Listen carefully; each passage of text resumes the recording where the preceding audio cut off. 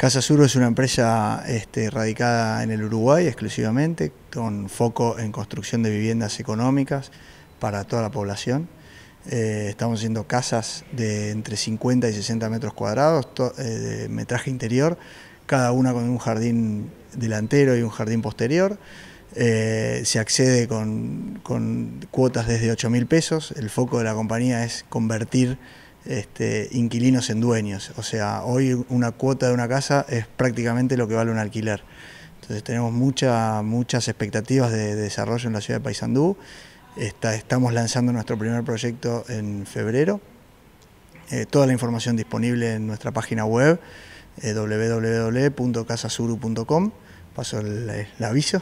Este, y, mm, en febrero estamos iniciando la, construcción que y la primera serie de casas, que van a ser unas 10, 14 casas, va a estar lista en mayo y a partir de ahí, cada dos meses vamos a estar entregando más unidades.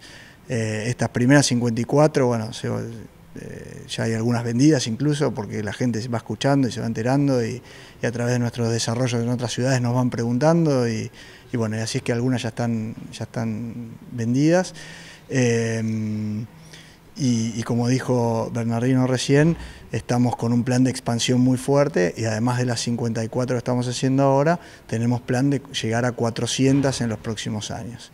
Esto es, como dijo él, una inversión y una apuesta muy grande en la ciudad de Paysandú. Acabamos de tener con el señor Intendente una reunión con la empresa Casa Suru, que ya hace meses que se está trabajando con la Dirección de Vivienda este, y bueno, hoy prácticamente están definiendo este, el planteamiento que se, está haciendo y también presentando una nota a efectos de eh, manejar este, eh, una excepción a la normativa para poder construir este, este plan de vivienda que es muy importante para un sector particular de la población de Paysandú en donde van a, se van a ver eh, inversiones importantes desde el punto de vista de dólares y también en unidades de vivienda.